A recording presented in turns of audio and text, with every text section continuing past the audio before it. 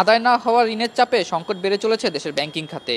খেলাপি ছাড়িয়েছে দেড় লাখ কোটি টাকারও বেশি। বেশ কিছু ব্যাংক রয়েছে নাজুক অবস্থায়। একীভূত হতে পারে সাত থেকে দশটি দুর্বল ব্যাংক।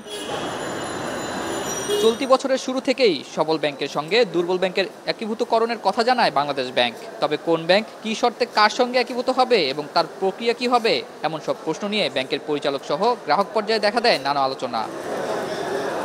সংবাদ সম্মেলনে বাংলাদেশ ব্যাংক জানালো আগামী ডিসেম্বর পর্যন্ত ব্যাংকগুলো মার্জারের বিষয়ে নিজেরাই সিদ্ধান্ত নিতে পারবে। তবে এরপর ব্যাংকের আর্থিক সামর্থ্য ও পরিস্থিতি অনুযায়ী চূড়ান্ত সিদ্ধান্ত নেবে কেন্দ্রীয় ব্যাংক। তবে কোনো ব্যাংকের অবসায়ন ঘটবে না। একীভূতকরণে শুধু দুটি ব্যাংক একত্রিত হয়ে ব্যাংকিং কার্যক্রম পরিচালনা করবে। আমি আপনাকে এখন একটা কথা জিজ্ঞেস করি। আপনার দুই ব্যাংক একীভূত হলে আমানতকারীদের কোনো আমানত হারাবে না। তা শতভাগ নিশ্চিত থাকবে বলে জানান কেন্দ্রীয় ব্যাংকের মুখপাত্র। আমি আমরা কিন্তু বারবারই একটা কথা বলতে চেয়ে- চেয়েছি যে মার্জার অ্যাকুইজিশন একটা বিশ্বব্যাপী একটা চলমান প্রক্রিয়া। এটার একটা সুনির্দিষ্ট প্রক্রিয়া আছে। যে প্রক্রিয়ার মাধ্যমেই কিন্তু সবাই যায়। হ্যাঁ কিছু কিছু জিনিস আমাদের নিজস্ব সক্রিয়তা নিজস্ব সিস্টেমের ইয়েতে বিচার্য হবে।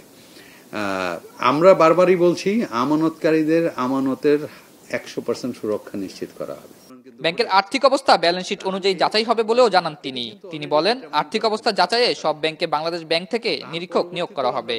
যে মার্কেট না আমরা আবার নতুন করে অডিট ফার্মও নিব যারা ওইরকম আহ, মানসম্মত অডিট ফার্ম যারা আবার নতুন করে ওই ভ্যালুয়েশন আপনাকে করবে। আমরা চাই না যে মার্কেট একটা রিউমার হয়ে একটা সত্যিকার ভালো ফার্মের ভ্যালুয়েশন খারাপ হোক এরকম কিছুই চাচ্ছি না।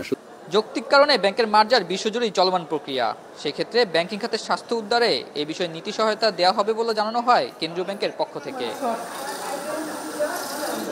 আতাউনিয়ন এখন ঢাকা। ওয়ালটন ফ্রিজ কিনে অনেকের মতো আপনিও হয়ে যেতে পারেন মিলেনিয়াল। সেরা পণ্যের সেরা অফার।